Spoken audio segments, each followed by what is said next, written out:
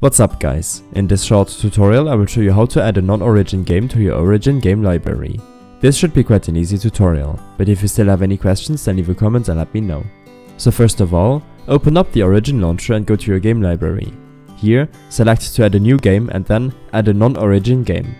In this file explorer you will have to look for the game you want to add. As an example I will choose Fortnite. Go to the drive on which you saved the game on, in my case it's my C drive. Program files and look for the game's exe file.